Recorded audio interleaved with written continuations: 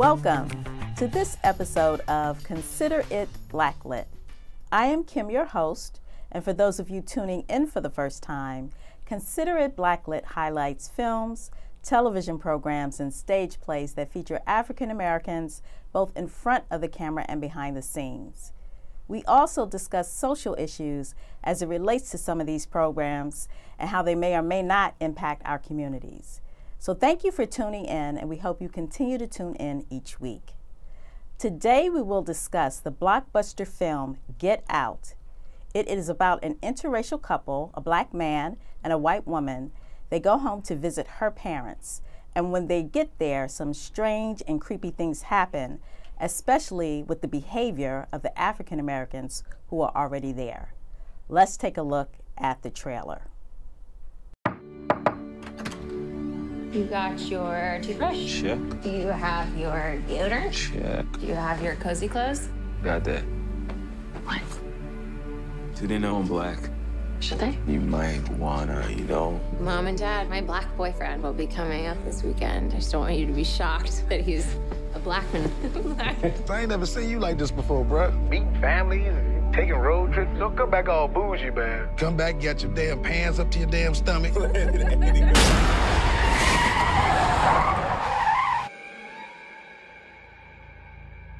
So you guys coming up from the city? yeah, we're just heading up for the weekend. Can I see your license, please? He wasn't driving. I didn't ask who was driving. I asked to see his ID.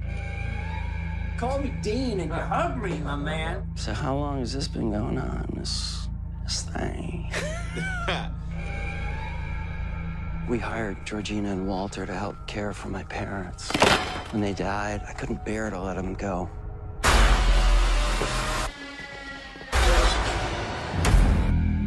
Smoke in front of my daughter? I'm gonna quit. She'd take care of that for you. How? Hypnosis. I'm good, actually. You ready for this? I'm back in the beat. so look, I go do my research. Apparently, a whole bunch of brothers been missing in this suburb. But it's cool. Bro, how you not scared of this, man? Good to see another brother around here. Chris was just telling me how he felt much more comfortable with my being here. Get out. Sorry, man. Get out! Yo! Get Out was written and directed by Jordan Peele. Many of you may know him as half of the comedy duo Key and Peele. It stars Daniel Kaluuya, who is a British born actor. It also stars Allison Williams. Some of you may know her from the HBO series Girls. Today, to help us discuss the movie, we have Sandy Broadus. Sandy is a graduate of Dartmouth College. She's a graduate of Boston University School of Law, and she is the creator of the Facebook page Unpacking the Baggage of White Liberalism. Welcome, Sandy. Thank you, Kim. I'm happy to be here, and I'm honored that you invited me. Yes, and I'm looking forward to our discussion about it. So let me ask you this. So Get Out was originally promoted as a horror movie, um, and I'm not sure if that's the genre that you like, but what attracted you to want to go see this movie? So I love horror movies. so that was well, that was one point of attraction. Um, another point of attraction was the um, the black male lead. Um, and so uh, you know, and the other thing is for me personally, I always try to um, to support movies that have um, lead black characters because I think that's very important to do, and particularly with Jordan Peele um, being involved with the movie, I think it's very important for us to support black cinema. Um, but yes, that the trailer that you just showed um, with all of those compelling pieces, you know, you had this black protagonist, um, you have the um, the piece with the interracial relationship. It was you know a, a lot of build up and tension, so I was very very excited to go see it. Oh, good, good, good. So let me ask you this: What made you start the Facebook page, um, Get Out, the unpacking of baggage of the white liberalism? I, I visit the page, and people just dissect every scene and have this analysis, Yes. post articles. What made you start the page? Um, it was pretty much that. I think that there was a really big need for people to discuss and unpack the themes um, and to kind of bounce them off of other people. Um, it never uh, fails to um, amaze me how many times we can revisit a scene, even, and people will, I think, have these sort of epiphanies and then post. Um, and then that will beget a lot of comments and everyone likes, even on ground that we've already covered. Um, but it really was because uh, um, as I was watching the film, I just walked out and I just felt sort of overwhelmed and really wanted to be able to talk about it um, and analyze it with people. And I found people very, you know, re- ready and willing to do that. Um, the group is one where people can opt in. So I basically said, "Who wants to talk about this film?" And suddenly we had about 170 people um, in the group talking about it from all walks of life, all races, all ethnicities, um, all genders. I mean, everybody just really eager to talk about it um, because I think it's that important to film. Yeah, yeah. So let me ask you this. What were some of the overreaching themes? And I think that was a question that you kind of posed to the Facebook group that um, you found on the. What were the overreaching themes that people like to discuss? Um, the interracial relationship, definitely, the dynamics of that, um, the dynamics of the secrecy, you know, from Rose, because you see in the trailer that she says, My parents don't know you're black. So there was a lot of conversation um, about that issue and, and what did that mean and what did that mean. Um, for Rose, vis-a-vis her own um, internal acceptance of the relationship, for example, even from the trailer before people got into depth um, with the movie. The police interaction, that's a big one. Um, you know, people obviously had a lot of thoughts around that. Black Lives Matter. Um, and those sort of themes. So those are some of the overarching themes. But then also the big one is, you know, and, um, evidenced by the title of the group itself, "Unpacking the Baggage of White Liberalism," is white liberalism and what that can look like, and how it can look like some things that maybe belie what people call themselves. Right, right, right. Yeah, so um, I was reading where Jordan Peele got his imp- inspiration from a classic movie, a 1968 movie, Night of the Living Dead. Did you see that movie? And can you draw some parallels? Um, absolutely. Um, as I was watching the film, you know, you watch it and you think, I feel like I've seen this scene or seen something like it before. It's very reminiscent of something you've seen. Um, and immediately I thought of Night of the Living Dead, which is, you know, for those who don't know and haven't seen the movie, um, it's a zombie film, black and white um, zombie film, so it's fairly old, you know, vintage. Um, and it's a black man who basically battles zombies all night long, including among people that he knows, and is, you know, one of the only survivors in his group or cadre of people.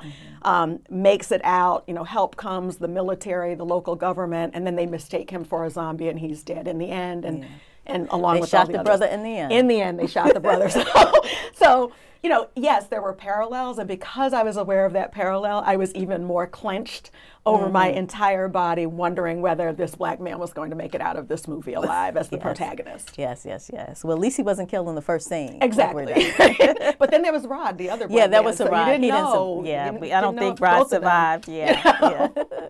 Well, speaking of Rod, um, the first scene shows a young African American man walking in suburban neighborhood. Tell me what you thought about that scene and how it set the tone for the movie. very stressful scene um, to me as a black woman. Very stressful um, in a situation where you would think it wouldn't be. Um, he's sort of talking to himself. There's nobody else on the street. It's very lonely. He's clearly like gotten some sort of misdirection about where he's supposed to be. Seems to be trying to find an address that somebody gave him, and this tension is building. Um, and for someone like me who grew up in Brooklyn um, and in the middle of you know the 1980s riots, basically um, over um, and protest over, um, for example, Yusef Hawkins, who was a 16-year-old young black man, um, child really, um, with three of his friends in Bensonhurst, which was an Italian American area that was very hostile um, as I was growing up to black people and was one of those places where you knew you just didn't go. Um, went to purchase a car and wound up being chased by a mob and shot. Um, and so as I was watching that, that very much came to mind. And then, of course, Trayvon Martin. Um, and you know, thinking about how you know, just sort of being in a place and walking and minding your business um, can really, really be life-threatening and can end in your death. So I, I felt tense the entire time. Yeah, I think it's interesting. I know there are some people who say we're in a post-racial society, but if you see a scene like that, Hmm. and everybody knows that it's not going to end well for the the black man who's walking down the Right. street, we can't be in a post-racial society. You know. I absolutely agree. And what's interesting, I saw the film with uh, two white women who are close friends of mine and allies, and they felt the same way. I mean, it was like, you know, and um, you know, very tense, very upset, not sure where it was going to go. One woman was covering her face because she, you know, she was afraid. And so you're right. There's a certain amount of irony um, in having this sort of bucolic scene where you know he's in a leafy suburban neighborhood, It's but supposed to be safe. That's supposed to be safe, and he's not doing anything wrong. He's looking for an address, and yet you know we all find ourselves ourselves clenched with worry. Yeah, exactly, exactly. So there's a scene um, where Rose and Chris are traveling. They hit a deer, Mm-hmm. and they come across. The police comes and takes a report, and he asks for Chris's ID. But Rose makes this big stink about Chris not turning over his ID, and it's all of just a big brouhaha. He wanted to cooperate, but she was insistent. Right. Tell me what you thought about that scene. So in our Facebook group, there was a fair amount of conversation. You probably saw about Yes, that. yes, yes. Um, a lot of supposition about why she was doing it, um, but I think everybody agreed that again, that was a highly uncomfortable moment. That people Mm-hmm. were resentful towards her, that he was being compliant, she wasn't following his lead, and that while not doing that and sort of bucking and using basically white woman privilege in talking to somebody that she saw as a peer. Mm-hmm. Um, she was putting him in danger where she was never going to be in danger. Yeah. Um, so there was a lot of resentment, and a lot of discussion around that, and and also about what that would look like had Rose been a black woman doing that. Mm-hmm, Because at one point afterwards, um, Chris, who doesn't seem that put out by the fact that she's doing this, even though he's still trying to comply, clearly he's used to it. He knows the drill. Mm-hmm. Um, but he says to her later something like, "Oh, I thought that was really hot," um, and so you know, again, a lot of discussion again in a multiracial group, Facebook group, about um, you know, had that been a black woman, would you say that was emasculating? Would you say he needed to feel he was protecting her? Um, what would the dynamic be, and how would it be different if it were a black woman? Because we're usually labeled, if we stand up for ourselves, we're like the angry black woman Sure. or whatever. Right, So, you right. know, when they do Bossy. it, it's hot. Yeah. when we do it, it's like, okay, she's Right. extra. Let me be a man. Yeah. right. Exactly. Yeah, yeah. Why do you think Rod's character, the comedic character, connected so well with the audience? Because even with even because, like I said, I went to see it in a, a non-African American Mm-hmm. majority audience, but they seemed to really be laughing hard when he, you know, delivered his Right, lines. right. Yeah. Um, I think it's again because he's saying, you know, there's a realness to Rod. You know, he says what you want somebody to say. He's saying, um, you know, and, and at the same time, you're aware as the viewer that you're seeing all of these different mm-hmm, interplays. Mm-hmm. Um, and Rod isn't, but yet Rod is onto it. You know, mm-hmm. nothing's getting by him. There's a realness to him and he understands it. And as outlandish as it sounds, for example, when he's talking to the cops, he's not wrong. No, he's not. And we know he's not wrong. so I think that's the humor of it is that you have this juxtaposition of Rod sort of saying, you know, wait, they're kidnapping these people, these brothers, and they're selling them for sex slaves. And then, you know, you're sort of watching this play out with an auction with people asking, you know, a white woman asked Rose about sexual prowess. Is it true what they say? So Rod is dead on. Um, and you, as the audience member, you're privy to that. Yeah. And he doesn't know it, and he's not believed, even by black officers. He's not believed. I know they were laughing hysterically. Right, right. There were um, a lot of symbolism in this movie. Mm-hmm. Um, why don't you talk about some of the symbolism that you observed? Um, so the buck, you know, for me, the deer and, you know, the trophy, you know, taxidermy up on the wall. Um, again, you know, it's sort of, I think um, a lot of black folk are used to navigating hostile spaces, such as the one that Chris found himself in unwittingly. Um, and that, you know, even before you know about Rose's complicity, I was really angry. Like, why did you do that setup? You know, I've been that person, you know, where somebody meets you and, you know, all of a sudden, oh my God, you know, and you see it all over their faces. Um, but I think the, you know, the setup of that, um, and then as you see the family play out in increasing um, levels of aggression. What starts off as microaggressions and passive aggressiveness, and it becomes more and more. And so, you know, to have you know the father going around, you know, the symbolism of um, showing, you know, here are my African art pieces. Um, Here's my tapestry. Um, you know, he's a hunter. All of those things that are very disconcerting, but you don't quite know why because you haven't, you know, kind of connected it. But what you do know is that this is somebody who is a consumer um, of black culture. Um, but it seems to be disdainful in all of his Yeah. dealings with Chris. So, Yeah. you know, for example, the buck is on the wall. He's collecting this African art. He clearly is into cultural appropriation. Mm-hmm. But when he begins to talk to Chris about the bucks, right, and how they're taking over the neighborhood, Yeah. something clicks and you say, wait a minute. Yeah. Buck was a slavery term that was used to describe black men who posed a threat to white woman purity. Um, and so it clicks. And then you're thinking, you know, then you start in your own head saying, get out. You know? That is a red flag. Right. So that was a really powerful image. Um, one that I missed, um, and other people, you know, and then I felt really foolish because it was really obvious, was the cotton. You know, when when uh, Chris is in the rec room and he's trying to break free and he winds up, you know, stuffing his ears. And at first you see him and they, you know, pan him very closely. And I think again the camera angles and the sort of tricks work so beautifully to throw you off balance. He's pulling the cotton, and it's really so, and, and you know, this imagery of putting it in his ears to literally drown out these negative messages that are coming from a TV screen. Right. And as a black woman, you know, being keenly aware of things like the European cult of beauty, um, you know, that Eurocentric beauty ideal, you know, being able to shove your fingers in your ears and drown out that negative imagery that causes self-hate um, it is, is a really powerful image. Um, the other piece of imagery for me was the fact that it was this very old and outdated TV set that comes Yeah. on, you know, really fuzzy and, and, you know, sort of like um, in and out, you know, with the Right. horizontal lines. And what I really thought about with that was it remind, reminded me of the civil rights movement when so many people were in denial about what Mm. was happening. And people sat in the North and thought, it can't really be that bad. And then they saw it for themselves with hoses and dogs, with people with badges, Yeah. you know, doing it. Yeah. Um, and then the final piece for me, I think that, um, that ties into that is the cell phone imagery, because it ties in, you know, the civil rights movement and, you know, how real is what we're saying, you know, is happening to us as black people. Well, now we know because you have people who are um, able to film Eric Garner, um, or they're able to film, um, you know, Tamir Rice, and they're doing it often with cell phones. And so these cell phones have for us become a level of protectionism um, where we're able to also prove and have evidence that we're not making it up. We've never been making it up. Exactly, Um, this exactly. idea of post racialism, you know, I think a lot of things have crawled from under rocks lately, and it's not a surprise to us. The question is Because we experienced it, now we're showing everybody. we're showing everybody. Exactly. And there's a means to do that, a media means to, to do, that. Yes, yes. Um, let's talk a little bit about the Georgina character, the, Sure. the African American woman who was in the house. She, like the other characters, if he took a picture of them and it flashed, they would kind of come back. Mm-hmm. But her, it seemed like she was kind of reaching out unprovoked to send her message, like when she walked in close to Chris when he asked her why she unplugged his phone and the tears start coming Mm-hmm. out, the door being open to the closet that eventually he found the pictures of Rose and the other people. Tell me Mm-hmm. what you thought about her character. So for me, in a lot of ways, Georgina is the character that that really gets my heart.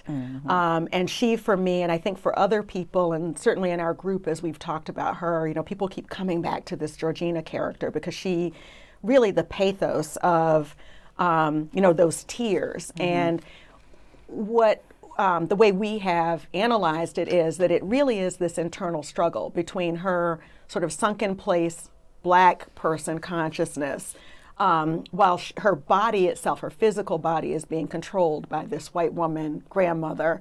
Um, the um, sort of that interplay and that that fight um, really to the death. Um, you know, she is the most sympathetic character for me because later you see, um, you know, for a while I was sort of like, why is the door open? And it took me a minute to yeah. realize, you know, she was in and out of that room and. Um, and what I like to think, and, and again, it's my bias as a black woman, um, I like to think, you know, she was really strong and she didn't need the flash. You know, her instinct for self preservation and for preserving others um, was so strong that anytime it presented itself, even in the slightest, she could try to push through, that she couldn't be kept down, that she couldn't be kept down in this, this role. Um, and as I say, you know, on the Facebook page to people, it reminds me of the, you know, 94% of black women turned out to vote to try to keep people of color and marginalized people um, from being harmed and victimized. So I see it as a parallel to that in a lot of ways. Um, but I think the sad part of it is, is that you know you see when you're looking at you know basically Rose's trophy case of selfies and pictures, you know it may or may not have been a sexual relationship, um, but I tend to think it was with with you know the woman who was Georgina because that's how Rose does her part in the family business. She lures people in as a sexual predator. That's what she does. Um, but the notion of, you know, you see that picture of Georgina and she's vibrant and she has like long natural hair. And then later you see her as grandma with this like very Yeah. old appearance and old timey, and she's not able to code switch. You know, he says something to her. Um, trying to remember what the phrase was that he used with her, and she didn't know what he was talking about. When he said um, snitch, Snitch, like, yeah, snitch. yeah. you know, you know, Oh, you tattle. mean tattletale? Yeah, and she didn't get it. You She know, didn't get it. Um, Mhm. and and that was painful, you know, to see. And I Mm-hmm. think you know to see that internal struggle and to think about somebody who's, you know, it's almost if you imagine somebody who is paralyzed and they can hear, um, but they can't move. Mm-hmm. Move, yes. Um, and I think there's a tragedy to that in particular for her that makes me really sad. And as I pointed out in the group, you know, then you realize later af- after you think about it some more, I thought about it for days, and I realized we don't even know her name. Um, No, we didn't. We don't know what her real name was. We know that she's called Georgina, just like we know Andre, the black man from Brooklyn who got abducted in the Right, opening right, scene, right. is renamed Logan. So they're Right. calling her Georgina. So we don't know her name, which is similar to the way as as African Americans we don't know our names. We don't know what our languages were. We don't know what our culture was because those things were stolen. So she's emblematic of all of that, and, and for me is the most tortured character in the movie. Yeah. Yeah, you give me another way to look at that. I'm going to have to go see the movie. Mm. I again. know. we'll go together in yes, yes, yes. Um, let's talk a little bit about Rose's brother.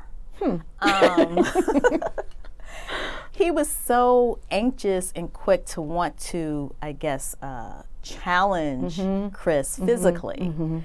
Tell me what you thought about his character. So his character, if you look at, um, I think, sort of gradations of open mm-hmm. prejudice, mm-hmm. open racism, open hostility. You know, somebody in our group said, you know, like he's the the guy who's in the KKK, right? like, you know, he is out there with it. He is violent. He is mm-hmm. physical. Um, he is um, incredibly obnoxious and rude on purpose. You know, from the point he comes in the room, and he's a little psychotic. I mean, you can see that um, in terms of how he, you know, at one point again, you know, with the boundaries issues, um, you know, physically, you know, trying to tussle with Chris. So. Um, all of them are loathsome, but he in particular, if you watch a movie and you can't wait for somebody to get what's coming to them, you know, he's he's definitely up there. They all are, but um, he in particular, um, you know, is problematic. And then um, he's sort of this, um, you know, this this branch on the family tree where they say, oh, you know, he's, I forget what it is that he's studying in the movie, but you realize he really is this ne'er do well, Yeah. right? Because in the end, you know, or, or you know, when, when the action really begins to build, he's doing transport.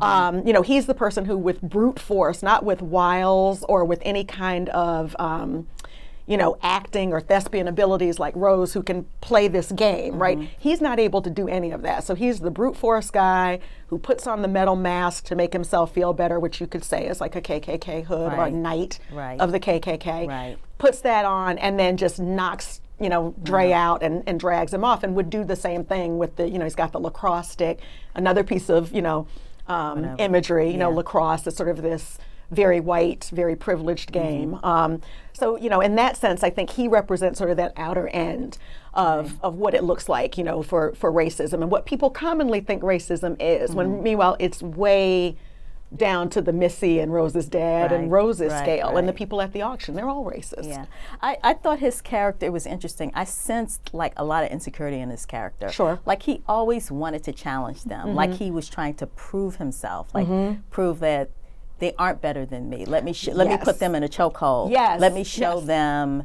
You know that I can um, overpower them. You know, because even when they were having dinner, and he got up from the dinner table, and he wanted to challenge him some kind of wrestling match, like over the steak or yeah, yeah. I was when I saw him, I was like, you know, he has to go. Right. At the end of the movie, I was glad he was Right. one of the ones who had to go. Absolutely. Yeah. Um, there was an interesting scene when they had visitors at the house. There was one Asian man Yes. that was there with all the other white people who came to, I guess, check out Chris. And he had asked Chris, you know, about his experience being an African American man. What did you think about that?